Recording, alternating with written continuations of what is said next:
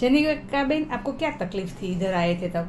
Hair fall की ज़्यादा problem थी और साथ साथ में माइग्रेन और पित्त का प्रॉब्लम पित्त का भी प्रॉब्लम था। आपको एसिडिटी का भी प्रॉब्लम था राइट और ये प्रॉब्लम आपको कितने समय से था? लगभग चार पाँच साल से चार पाँच साल से प्रॉब्लम से आप सफ़र हो रहे थे। इधर हमने क्या क्या ट्रीटमेंट किया आपका? रिग्रो और शिरोधारा कर शिरोधारा और हमारी जो हाँ मेडिसिन वो सब लिया ना तो और अच्छा हमारा मेन हमारा पंचकर्मा ट्रीटमेंट जो पंचकर्मा ट्रीटमेंट जो था हमने मैंने नाड़ी परीक्षा की हाँ, आपकी। उससे ज़्यादा। हाँ उससे मैंने आपको पहले दिन ही बता दिया कि भाई आपका पित्त का प्रॉब्लम है। उसकी वजह से हेयर हो फॉल है। ज़्यादा हो रहा है। रूट कोज आपका माइग्रेन था राइट हाँ।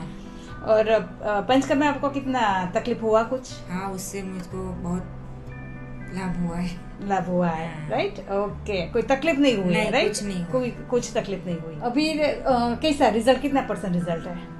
हंड्रेड परसेंट है। 100% बाल- मेरे बाल जो बहुत गिर रहे थे ना वो भी कम हो गए और ग्रोथ भी हो गया। ग्रोथ भी हो गया हाँ। अभी पूरा ग्रोथ जैसे आपका नेचुरल ग्रोथ था वो हाँ। सब वापस आ गया